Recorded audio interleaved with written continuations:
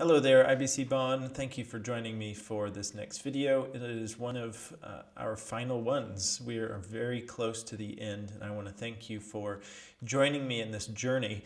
In this video, as we talk about the, uh, the Constitution, and in this portion of the videos, the bylaws of the church, how the church operates, uh, in this video, we'll be addressing the important topic of what do we believe about personnel.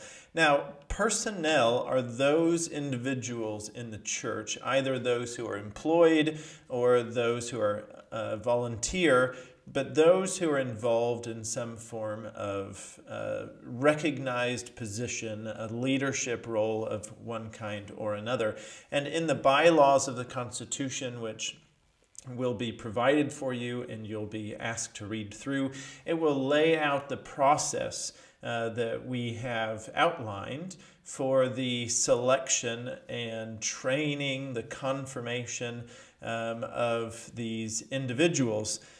But the really important principle for you to understand from this video is that church members have an essential role in nominating, affirming, and holding accountable the pastors, elders, deacons, and administrators of the local church it's up to the individual members to affirm that these individuals who are nominated are uh, meet the biblical requirements for the role.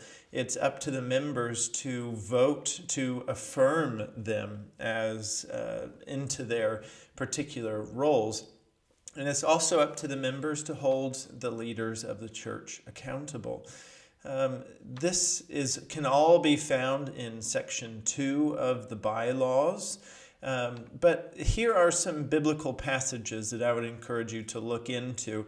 Um, these uh, passages are sources for us as we develop a biblical wisdom about personnel. Now, regarding the lead pastor, the lead pastor is nominated by a search committee that is made up of church members. So, church members in the future, um, for future pastors of the church, the, the members themselves would uh, create a committee that would search for the, the church's next pastor. Uh, then the, the lead pastor is then called by the church to serve as pastor if he is approved by a vote of the members. And again, in the bylaws, it gives more precise details, but it's important for you to understand, uh, unlike certain uh, other church traditions where a bishop is able to send pastors to various churches and make decisions from the top about where uh, the pastors will be uh, serving uh, in what churches, and a bishop sends them. In the Baptist tradition, it is understood from, a, from the bottom up, where the church recognizes someone and issues the call to that pastor and says, Come, be our pastor. And that is done as, uh, as a church body.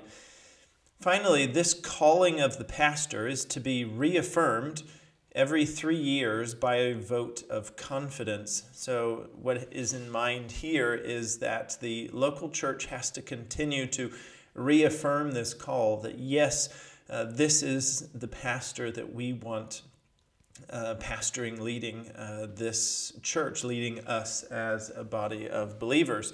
And that confidential vote is, is done every three years to reaffirm that call. Uh, elders and deacons, when we talk about elders and deacons, it's important to understand that they exist to serve the church. Secondly, they are nominated, approved, and affirmed by the members. So, in months and years to come, when the church uh, wants to uh, nominate, wants needs new elders, needs deacons to fulfill certain roles, uh, the, the elders will come to the, the members and ask for nominations for specific uh, roles. So it's up to the, the members to nominate people for these positions, to be approved by the members, and to be affirmed by the members. Uh, they are trained for their roles by the existing elders. Those elders who are currently serving as elders are essential to the training of, of those uh, who will serve as elders, uh, those men who will serve as elders, and those men and women who will serve as deacons. The elders and deacons are held accountable by the members, and this is important for you to understand as well. And one of the ways that those are held accountable is that they uh, are in their role for a limited term, uh, depending on the case, uh, for a limited term, but can be reaffirmed into their role.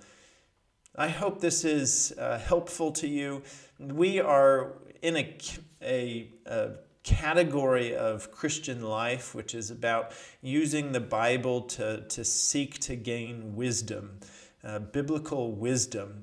Um, there's, there's no passage I can give you that outlines the, the, the detailed process for doing all these things.